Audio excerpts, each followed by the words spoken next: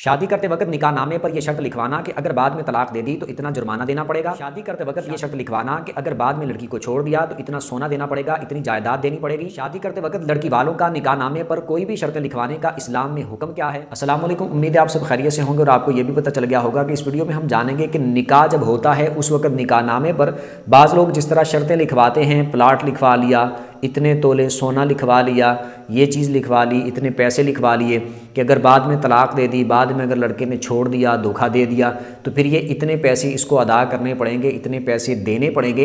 इसका शरीयत में, इस्लाम में हुक्म क्या है, ये तफसील के साथ जानेंगे। वीडियो को आपने मुकम्मल आखिर तक देखना ताकि बात आपको अच्छे तरीके से समझ आ सके। वीडियो का आगाज़ करते हैं, लेकिन उससे पहले जो इस चैनल पर नए हैं, चैनल को सब्सक्राइब कर लें, बेल आइकन पर प्रेस कर दें ताकि हर नई आने वाली वीडियो आप तक आसानी से पहुँच सके। याद रखिएगा, इस्लाम एक ऐसा पाकिज़ा मज़हब है कि ना तो औरत पर जुल्म हो, इस्लाम ये भी बर्दाश्त नहीं करता और मर्द पर जुल्म हो, इस्लाम इस बात को भी बर्दाश्त नहीं करता। शादी और निकाह ये एक ऐसी ज़िम्मेदारी और एक ऐसा रिश्ता है कि जिसमें दोनों तरफ़ से कॉम्प्रोमाइज़ हो, फिर रिश्ते चलते हैं। अल्लाह पाक ने ये एक पाकिज़ा बंधन, पाकिज़ा एक रिश्ता बनाया है। अब लड़के वाले और लड़की वाले दोनों को ये इख्तियार शरीयत ने दिया है कि लड़की वाले भी अच्छे तरीके से जाँच पड़ताल करके, देखभाल के फिर रिश्ता करें। और लड़के वाले भी अच्छे तरीके से जाँच पड़ताल करके, देखभाल के रिश्ता करें ताकि ये रिश्ता दायमी तौर पर, दायमी से मुराद यह है कि देर तक चल सके। इसकी म्याद देर पा हो।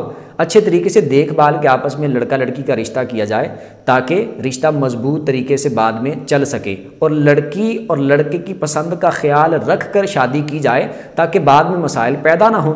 लेकिन अगर कोई इस तरह की सूरत हाल बना के ज़बरदस्ती निकाह करते हैं, या फिर ज़बरदस्ती भी नहीं करते, या कोई इस तरह का मौका, सिचुएशन बन जाती है कि वो निकाह करते हैं, लेकिन निकाह के वक्त लिखवाते हैं कि अगर लड़के ने धोखा दे दिया लड़की को तो ये इतने वो पैसे देगा, इतना गोल्ड देगा, इतनी जायदाद देगा। जब पहले ही ये सारी शर्तें आप लिखवा रहे हैं, सारा कुछ कर रहे हैं तो आपको तो पहले ही उस लड़के पे एतमाद नहीं है। पहले ही एतबार नहीं है। यानी एतबार नहीं है, इसी वजह से तो आप शर्तें लिखवा रहे हैं। इसी वजह वजह से तो आप ये सारे मामला कर रहे हैं।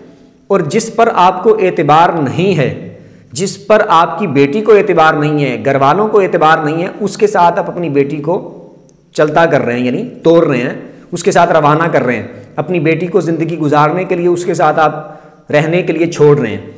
तो इसलिए शादी करते वक्त पहले ही ये सारे मामला देख लेने चाहिए, लड़का लड़की की पसंद भी देखनी चाहिए, घर वालों को अच्छे तरीके से देखभाल के रिश्ता करना चाहिए। लेकिन ये वाली जो चीज़ है कि निकाह के वक्त लिखवाना इस्लाम इस बात की इजाज़त नहीं देता कि अगर शादी हो, निकाह हो, उस वक्त आप ये लिखवाएँ, जी अगर लड़के ने तलाक दी तो पाँच लाख रुपया देगा, दस लाख देगा, बीस लाख देगा, पचास लाख देगा, पाँच तोले सोना देगा, दस तोले सोना देगा। ये आप शर्तें वगैरह लिखवा लें।